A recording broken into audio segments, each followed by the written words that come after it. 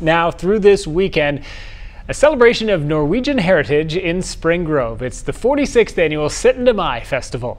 It celebrates Constitution Day of Norway, which is officially observed today, May 17th.